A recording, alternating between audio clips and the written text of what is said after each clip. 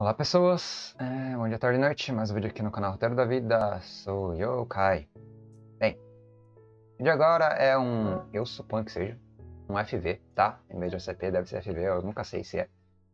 E o tema da vez é um tema que eu nem sei direito como descrever, porque ele é um tema de negligência e algo do gênero, né? A negligência, a responsabilidade, a... e a falta de de tomada de decisão, entre aspas, a falta de. É, como é que é a palavra? Proatividade também, né? Por quê? Porque eu tô dizendo essas coisas. Porque quando eu tava. Na verdade é um relato também, em parte, porque assim, quando você é um profissional, um profissional mesmo, quando você trabalha e tal, você tem responsabilidades. Só que depende de como você efetiva a sua profissão e efetiva as suas responsabilidades, o resultado ele é definido, né? Ele é manifestado e se materializa. Quando você pega, por exemplo, um médico negligente, uma pessoa que não presta atenção nos pacientes, no caso do médico, e não faz exames adequados, ou é, é inumano, ou desumano, é antipático, ou sociopata, talvez, é, é uma pessoa com pouca empatia, no caso também, né? E não, é, não tem uma perspectiva de, de olhar o outro como único, insubstituível então ele tem uma tendência, um viés, tratar, no, tratar o outro como coisa e o outro como é, o humano normalmente, mas também a própria função dele como médico como uma coisa de engrenagem, uma coisa pragmática, uma coisa desvinculada da humanidade. E nisso ele pode vir a exercer a função dele de maneira enviesada e desinteressada, ao ponto de ele ser egoísta e indiferente. E quando ele é egoísta e indiferente, ele é desumano. E quando ele é desumano, ele causa consequências, no caso de um médico, é, brutais no paciente. Por exemplo, o paciente pode ter uma progressão da doença e virar óbito, ou virar incapacitação, ou sequelas, ou traumas dos mais diversos. Isso no campo da medicina é bem claro porque estamos lidando com um ser humano e ele está doente. Quando está doente, você sabe que o negócio é ferve. Quem já ficou doente é que sabe que o negócio é feio. Quando você vai no pronto-socorro com um médico meia-boca, clínico geral, sem críticas específicas, mas e o cara só dá um xarope para você e um descanso e um sorinho e fica postergando o negócio, que é o que acontece na, na saúde do país em geral, que eu já fui muito para socorro, já vi isso na realidade. Então acontece que você está negligenciando a sua própria função, sendo um médico incompetente, nesse caso muito incompetente, negligente e colocando o outro em risco, no caso a vida do outro mesmo, ou a saúde, ou a sanidade, ou outras coisas. Então, no caso, você tem aqui um profissional que é um exemplo mais fixo e mais sólido do como uma profissão e o exercer a profissão prejudica as pessoas ao redor. No caso do médico, com certeza o paciente. E aí, extrapolando isso para psicólogos, para engenheiros, para pedreiros, para padeiros, para, sei lá, farmacêuticos, para frentistas, para todas as pessoas com as quais você está interagindo. Se você pega essa mesma perspectiva do médico, desinteresse, essa insensibilidade, essa indiferença, eu descobri o nome do vídeo ainda, não sei, mas vou colocar essas palavras talvez no nome do vídeo. Mas essa indiferença é técnica, pragmática e burocrática, que gera desumanização do indivíduo que está relacionado com você. E você olha para o indivíduo e vê ele como uma coisa. E você, quando vê ele como uma coisa, você tira o seu corpo e tira o seu da reta. E joga ele literalmente no inferno ou no estresse e no desespero de N modos, como um pedreiro que erra a casa e constrói errado e gasta um dinheirama, como um engenheiro que erra o projeto e arrebenta com você, como um psicólogo que trata você mal ou te traumatiza, como um filósofo que exerce a sua profissão de maneira meia boca, que nem eu, e fala abobrinha e não produz ciência ou conhecimento porque eu faço o tempo inteiro, porque é a minha abordagem e eu sou uma dessas pessoas que pode ser sim criticada por isso, e esse é um ângulo de crítica válido, no caso contra mim. Ou um outro viés, assim, de uma pessoa responsável por você, como um policial negligente que não preza pela sua vida ou que é violento demais, e em vez de protegê-lo, agride você, em vez de protegê-lo e te dar o ar da justiça, ele te dá o ar da opressão. Mesma coisa com um juiz, que pode ser indiferente à sua humanidade, às perspectivas do caso, e dar um veredito extremamente tendencioso e preconceituoso devido à sua classe social no caso a classe social dele, que é elitista ou alguma coisa do gênero, com preconceito em relação à sua classe social, tá pleiteando ali na, no, na justiça alguma coisa e tal. Isso é muito comum, a gente ouve isso o tempo inteiro. Lava Jato é isso. É, processos de abuso de poder, como é, calar a boca da mídia, processos de, de censura acontecem com frequência.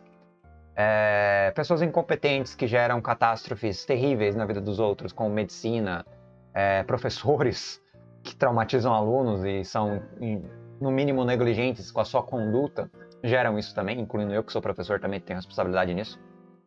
É, psicólogos, é, pessoas que têm poder sobre você, que tendem a ser o seu chefe e tendem a ter hierarquia na situação.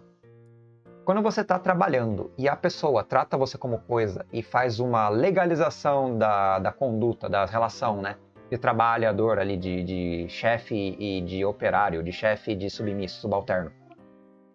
Quando ele trata com essa hierarquia pesada e usa o livro de regras como se fossem regras burocráticas e não interpretáveis, pé da letra, o negócio é rígido, o negócio é sólido, o negócio é tenso, e você é inserido numa relação de indiferença e desvínculo, de desumanidade, quando você é tratado como alguém que pode ser prejudicado a qualquer momento e te olham de cima para baixo, te olham com afastamento. E te obrigam a sofrer psicologicamente, por vezes financeiramente ou emocionalmente, ou fisicamente mesmo, porque você está em necessidade existencial e o cara, por negligenciar e por ter mais poder que você e hierarquicamente superior a você, negligenciar a sua posição como subalterno, te colocando em situações extremamente estressantes, extremamente problemáticas, que des desequilibram o seu dia a dia, eu falo isso por experiência própria. Tiram o seu norte de, de estabilidade emocional, psicológica e de saúde mesmo, de, de dormir, para você ter estabilidade para ir para a cama e acordar, insônia no caso, que tiram o seu, o seu círculo alimentar, né, a sua rotina alimentar, porque de fato você não consegue comer nos horários adequados por causa do, dos horários que o seu chefe ou hierarquia alguém de hierarquia superior conduz você. Seguindo o livro de regras, sabendo que é possível flexibilizar, otimizar ou humanizar o tratamento, e mesmo assim ele é aquele cara que puxa o gatilho e te ferra. Que nem aquela, aquele experimento dos nazistas, nazistas não, do cara que. Experimento científico de você é comandado por alguém de patente superior. Essa patente superior ela tem o poder né, de, de ser a autoridade e ela fala aperta um botão. Aí você aperta um botão e a pessoa lá é eletrocutada com um choquezinho. Aí ela fala, aumenta a tensão do choque e aperta o botão de novo. Aí você vai lá, aumenta a tensão e aperta o botão, porque estão comandando você. Aí ele fala, coloca no máximo e aperta o botão. E você coloca no máximo e eletrocuta a pessoa no limite, porque você se vê desvinculado, des desresponsabilizado, sem empatia, com indiferença, com uma desumanidade em relação ao objeto que é aquele que está sendo cobaia na situação e está sofrendo o experimento. E essa metáfora é clara porque ela é comum no dia a dia. Se você é chefe, meu filho, é quase sempre você se desvincula do objeto, do que está abaixo de você, e menospreza ele. Eu falo isso no sentido também de não só apenas de trabalho e empregado, mas de professor e aluno também. Tem muito professor, meu filho, eu sei disso porque eu vejo na prática. Ele trata o aluno com hierarquia, com poder, com ego, com arrogância. E os alunos reclamam disso para mim porque eu tento não fazer isso. E alguns sabem que eu consigo, até certo ponto, não fazer mesmo. Entendeu? Sou de boa, sou neutro, sou sem hierarquia, debato, converso, faço diplomacia, faço votação na sala, a, a, permito eles, a, até certo ponto, não 100% de liberdade, mas é terem um diálogo diplomático, democrático interno. Eu sou desse tipo de pessoa. Agora, quando eu vejo outros professores tratando os alunos, é um sintoma da carreira, você vê um afastamento e muitos alunos precários, carentes, com dificuldade, são tratados como marginais, são tratados como delinquentes, são tratados como pessoas nocivas, como alguém repudiável, recriminável, e por isso justificado que você seja violento e agressivo com ele, com notas, com regras, com bastão e com condutas agressivas e coercivas e destrutivas, que é a violência na prática. E quando eu percebo isso também, essas mesmas pessoas do campo da educação, como superiores diretos a mim, usando a mesma metodologia que usam com os alunos em direção a mim, e me desumanizando, sendo indiferente, me menosprezando, por vezes me abandonando, lavando as mãos e me mandando catar coquinho, ou me virar numa situação onde eu estou submisso, subalterno, eu deveria ser auxiliado, protegido por esse indivíduo que está é... Me... Peraí. Taiwan? um evento que passou aqui no e-mail. Então tá me, deveria estar tá me, me, amparando, sendo um colega, um, um, andando, andando ao lado, trabalhando junto. Esse indivíduo, essa coletividade de poder, que é micropoder, que é o poder sutil, que é o soft power, né? o poder leve, é aquele que está obedecendo regras e efetivando as condutas ao pé da letra da, do legalismo, né? pode dizer assim, da, sem interpretar colocando na prática e atropelando toda a realidade, sem adaptar, sabe? Quando você simplesmente, é, em vez de fazer um negócio inteligente, engenhoso, humano, metódico, coerente, você simplesmente bate o martelo e manda tudo a puta que pariu, e não é criativo, não é expansivo, não é não é humano, não é nada. Você é um mecanismo, uma máquina de violência. Violência contra quem? Contra as pessoas abaixo de você. E por que eu estou falando tudo isso? Porque isso é muito comum. Isso me deixa puto pra caralho. Você não tem ideia de como é difícil para mim olhar na cara de um indivíduo que faz isso.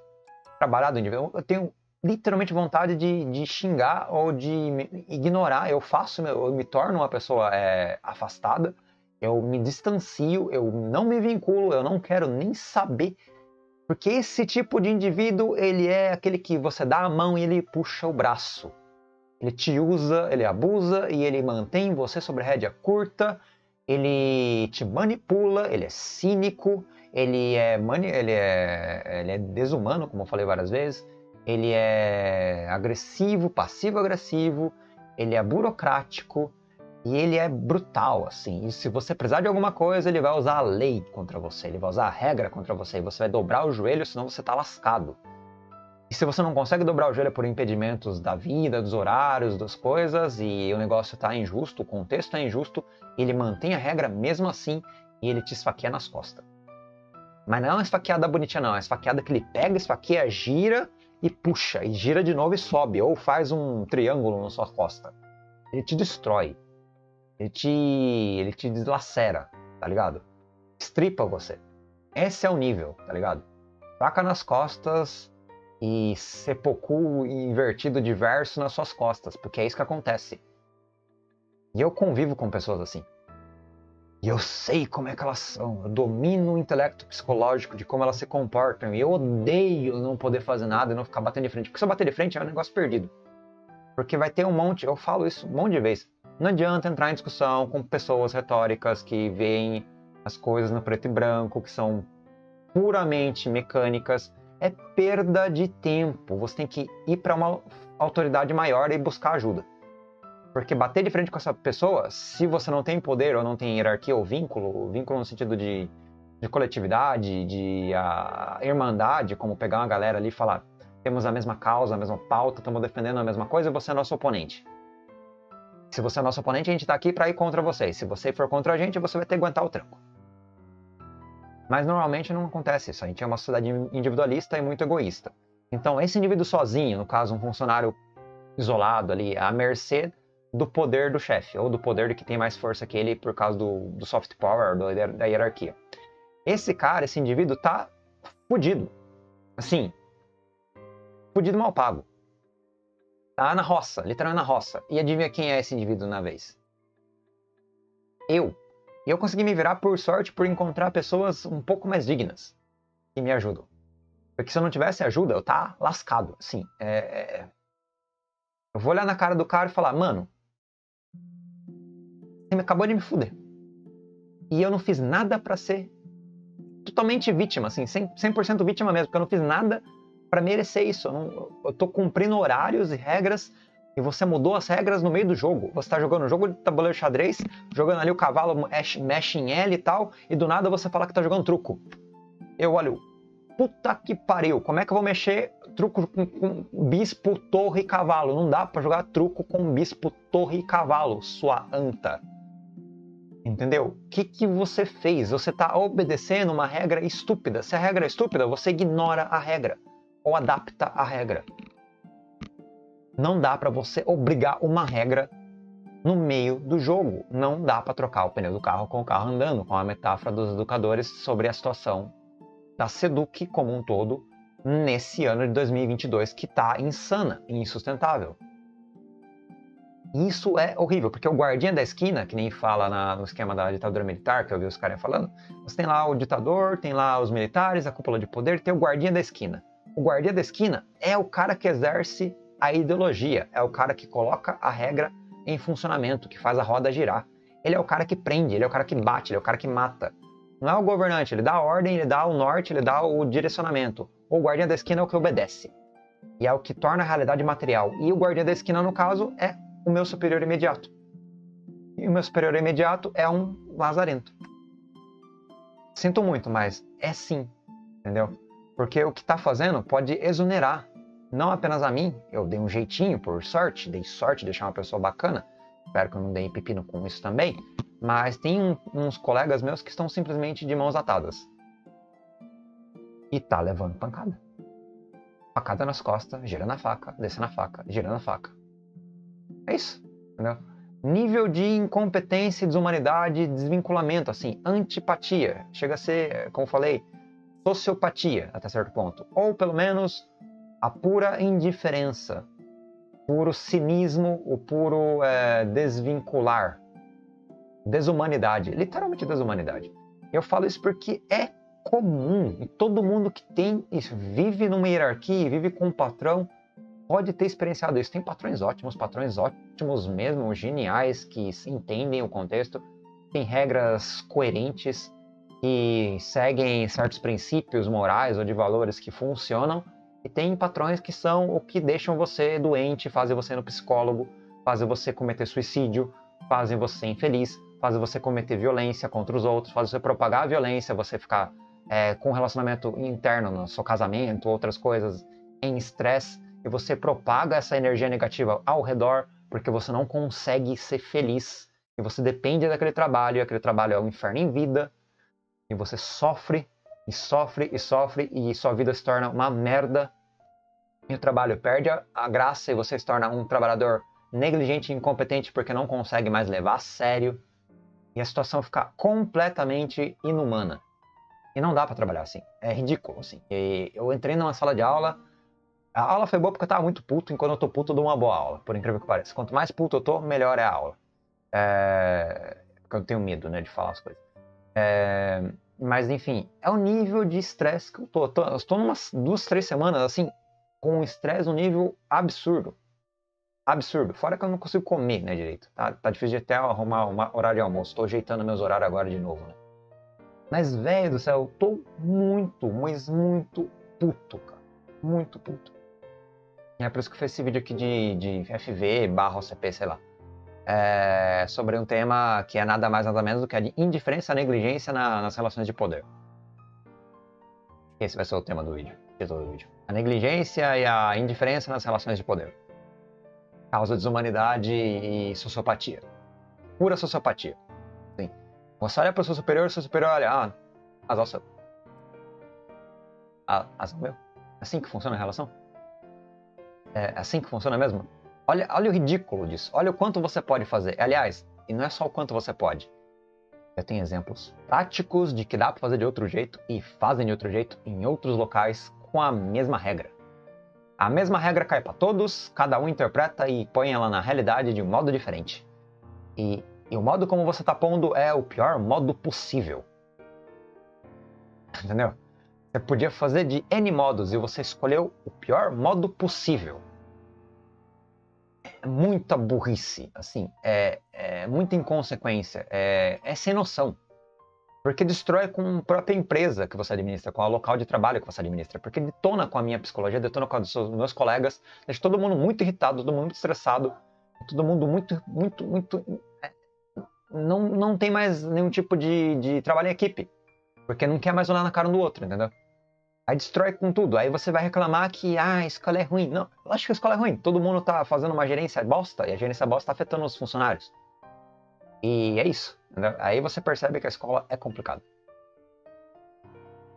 Entendeu? Nunca enfiar a faca nas minhas costas quando você não precisa fazer isso. Porque isso não é legal. Ou na causa de outras pessoas. Não faça isso. Não, não seja esse tipo de pessoa. Por favor, dobre a lei e a regra. É aquela frase do psicopés primeira temporada. A lei não protege as pessoas, as pessoas protegem a lei. Simples assim, a lei não faz nada. Quem faz a lei é a pessoa protegendo a lei, é a pessoa definindo como a lei é aplicada. A pessoa faz a lei e faz a realidade. A lei não faz nada. A lei é inerte, é in... puramente anestesiada, ela é nada. Mas quando o indivíduo protege a lei, que é a regra, que é a conduta, que é o status quo, que é a arbitrariedade, ele é a lei. E ele é a corrupção. E ele é o problema na situação. Não é a lei necessariamente que é errada, é o indivíduo que, ao usar a lei, usa ela numa autoridade, arbitrariedade, num poder terrível e brutal contra os funcionários. E não tem argumentação. São colegas, eles não são formados em faculdade, são pessoas assim, tipo, pelo menos deveriam ser, né? É, capazes. Capazes, mas não confio nessas pessoas com crianças, com adolescentes. Como é que eu vou confiar elas? Eu não confio elas comigo, muito menos com crianças e adolescentes, porque elas não são pessoas boas.